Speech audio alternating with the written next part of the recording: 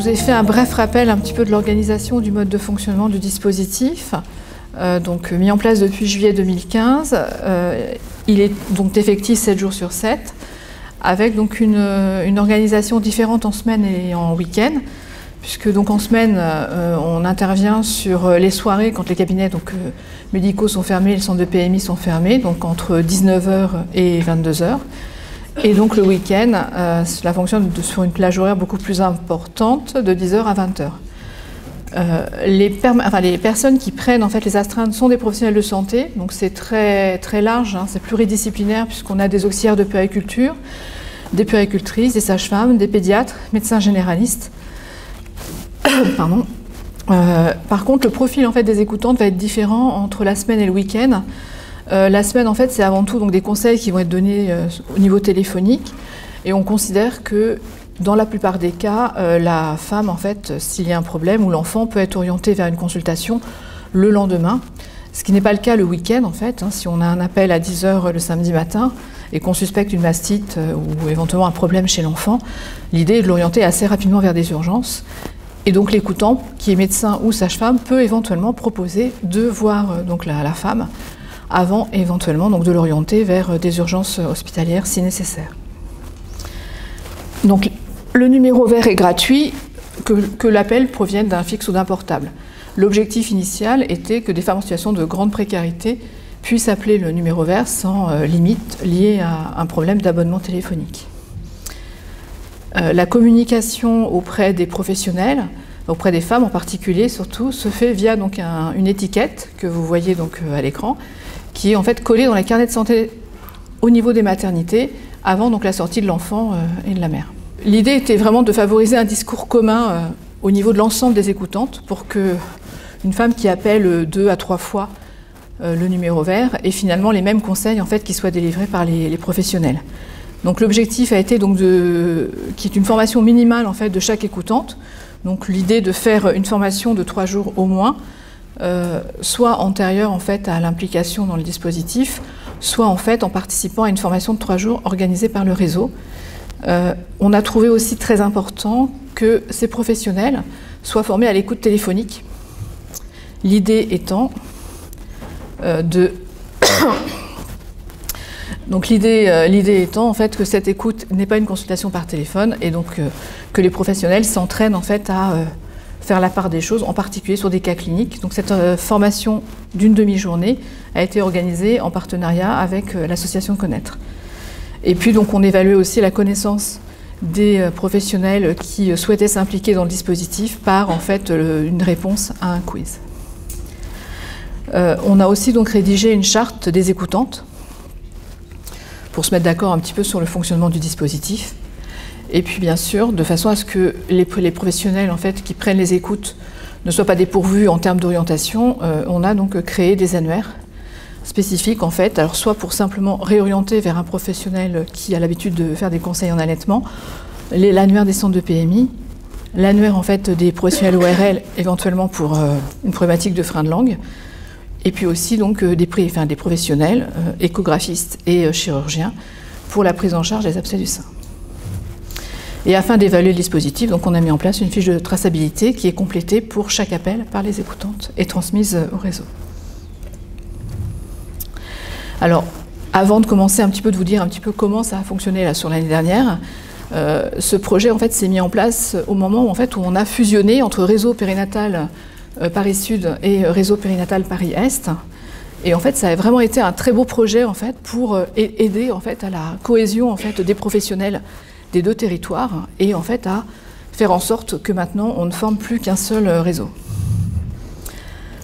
Alors, au niveau des appels l'année dernière, on a eu donc 1910 appels sur l'année, avec une répartition donc de à peu près la moitié des appels le week-end, donc 48% et 52% donc en semaine, ce qui fait en moyenne 8 appels par jour de week-end ou jour férié et 4 appels en moyenne par soirée. 32% des femmes qui ont contacté en fait SOS Allaitement ont eu recours au numéro vert euh, déjà au moins une première fois euh, avant l'appel. Alors la durée moyenne des appels, alors c'est pareil dans le cadre de la charte des écoutantes et de leur formation, l'idée en fait était que l'appel devait ne pas dépasser environ 15, 15 à 20 minutes. on considérait, on considérait que si l'appel allait au-delà, il était peut-être nécessaire de réorienter en fait la, personne qui appelait vers un professionnel de santé. Donc on va dire que la plupart des, appels respectent en fait euh, bah, cet objectif, hein, puisque on a 25% des, enfin 28% des appels qui, euh, enfin 20, pardon, 25% des appels qui sont supérieurs à, à 20 minutes. Alors, sur la connaissance du numéro vert, comme je vous l'ai dit tout à l'heure, la, la, communication auprès des usagers se repose sur les maternités du réseau. Euh, donc là, comme on le voit, il y a plus de, la moitié en fait, des femmes qui contactent SOS Allaitement qui ont eu l'information via les maternités. On a effectivement une imprécision euh, pour 300, plus de 300 appels euh, on n'a pas eu de renseignements en sur, la fiche. Après, donc le, principal mode d'information, c'est via Internet, ce qui d'ailleurs après vous verrez nous, nous, conduit finalement à avoir de temps en temps des appels de femmes qui ne sont même pas domiciliées en Ile-de-France.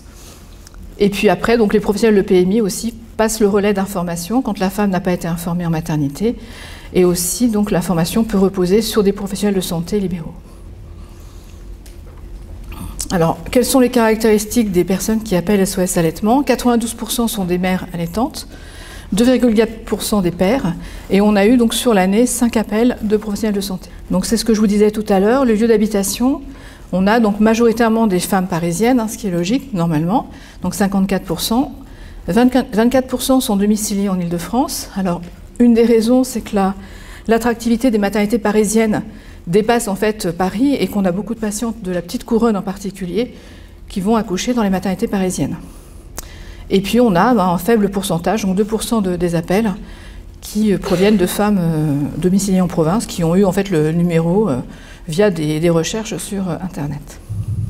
En ce qui concerne la catégorie socioprofessionnelle des personnes qui appellent, euh, alors, à notre déconvenu, on a majoritairement euh, des personnes qui sont de catégorie euh, socioprofessionnelle supérieure, 40, presque 48%, et ensuite, donc, profession intermédiaire pour 27%. On a très peu, finalement, de femmes en situation de grande précarité qui appellent, un ou deux appels par an, et ensuite, on va avoir des employés ou des commerçants. Alors, c'est à la fois pas trop étonnant puisqu'on sait que quand euh, on propose une, action de promotion d'éducation à la santé, les populations qui s'en saisissent le plus sont effectivement les catégories socio-professionnelles les plus élevées. En ce qui concerne la parité, donc on a majoritairement des primipares pour 75%, et puis donc euh, aussi des, deuxièmes parts, donc 20%.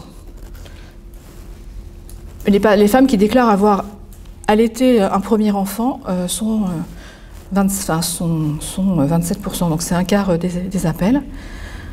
En ce qui concerne la caractéristique des enfants, alors il y a une information qui est assez intéressante, qui nous a un peu surpris. Euh, on a 11% des appels qui concernent en fait euh, des, mères en fait dont l'enfant est âgé de moins de 7 jours. Et on peut d'ailleurs avoir des, appels en fait. Euh, je regarde Agnès et Virginie qui prennent des écoutes. Euh, des fois, à la sortie de maternité, voire on a eu aussi quelques appels euh, alors que la, la mère était encore hospitalisée en maternité. Alors si on regarde après l'âge des enfants en fait euh, pour lesquels les mères appellent, on a après on va dire un, une augmentation aux alentours de un mois, entre un et deux mois. Donc c'est souvent le moment du sevrage avant la reprise euh, du travail. Et puis après, pour la, certainement les mêmes raisons, on a donc à nouveau un pic aux alentours entre 3 et 6 mois, donc euh, pareil certainement pour euh, anticiper donc l'arrêt de l'allaitement. Quand on regarde le type d'alimentation des enfants au moment où leur mère appelle, 71% sont en allaitement exclusif, 20% en allaitement partiel. Et comme on a des appels assez tardifs, on a 8% des enfants qui sont déjà diversifiés. On a une imprécision en fait hein, sur euh, certains motifs d'appel. Alors ça, repose sur le fait que donc, chaque appel, on doit remplir une fiche de traçabilité et que les mères qui ont déjà appelé, donc elles sont quand même assez nombreuses, hein, plus, de 20, plus de 25%, euh, ne comprennent pas pourquoi on leur repose à nouveau euh, des questions. Et du coup forcément elles ont une fois qu'elles ont eu la réponse à leurs questions elles ont souvent envie de raccrocher. Et donc on a souvent des informations qui sont partielles en fait sur les fiches de traçabilité.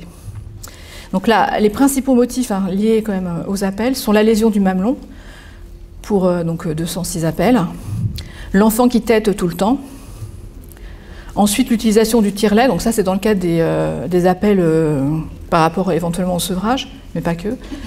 Il y a aussi pas mal de questions autour de médicaments et toxiques et allaitement. Fièvre maternelle, qui, souvent peut être oh là, et reliée éventuellement à une mastite ou un abcès du sein. Et ensuite, il y a des problèmes plus liés à l'enfant, comme des coliques, des problèmes pédiatriques spécifiques, et puis la diversification alimentaire. En ce qui concerne donc les, orientations en, fait, en urgence, on s'attendait, on avait, quand le projet a été mis en place, on s'attendait à environ 4%, ma mémoire est bonne, d'orientation vers les urgences. Finalement, on est plutôt aux alentours de 2%. Donc le, là, en fait, en 2016, il y a eu 111, 111 euh, orientations sur 1900 donc, euh, appels vers, euh, en urgence. Donc majoritairement, un autre référent, donc allaitement les urgences gynécologiques pour 22 appels, et ensuite donc le référent euh, de l'écoute téléphonique. Donc c'est souvent un week-end. Hein, donc c'est le, ça c'est l'organisation qui avait été prévue euh, initialement. Et puis donc des urgences euh, pédiatriques. 69% des appelants bénéficient donc d'une orientation secondaire. Donc majoritairement c'est vers une sage-femme. Donc ça c'est pour effectivement faire du conseil en allaitement et accompagner sur le, le suivi postnatal. Donc c'est souvent des euh, des, mères en fait, qui appellent dans les jours qui suivent la, sortie de maternité. une autre orientation majoritaire, c'est donc vers des centres de PMI, toujours pareil pour du, conseil et du de la réassurance autour de l'allaitement. Un autre référent allaitement quand on a besoin de conseils un peu plus euh, précis sur l'allaitement, donc éventuellement de, de consultation en allaitement. Et donc ensuite, pour des problématiques pédiatriques, donc ça peut être donc le pédiatre, le médecin traitant. Il y a quand même effectivement 69% donc de réorientation vers le référent euh, allaitement qui assure euh, l'écoute. Euh, ce qui n'est pas majoritaire et ce qu'on avait aussi choisi dans le cadre de la charte des écoutantes, c'était que prioritairement, l'orientation ne se faisait pas vers l'écoutante, voire ne se faisait pas vers la personne qui prenait l'écoute, mais plutôt vers un autre professionnel. Donc, pour rappel, ce dispositif avait été financé pendant un an par l'ARS Île-de-France, et c'était aussi dans ce cadre-là, en fait, ce qui avait été pas mal discuté quand on avait proposé effectivement qu'il y ait une consultation proposée par l'écoutante de week-end.